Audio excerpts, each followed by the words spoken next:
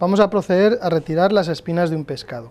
Para ello, en primer lugar, lo que tenemos que hacer es identificar dónde están esas espinas. Pasando ligeramente el dedo por encima de la carne, podemos adivinar perfectamente dónde se encuentra. Una vez que las tenemos identificadas, con unas pinzas específicas para extraer el pescado, las espinas de pescado, iremos sacando las mismas una a una. La extracción de la misma se debe hacer en la misma dirección en la que está clavada, para evitar romper la carne y las láminas del propio pescado. De esta forma extraemos las espinas a un pescado.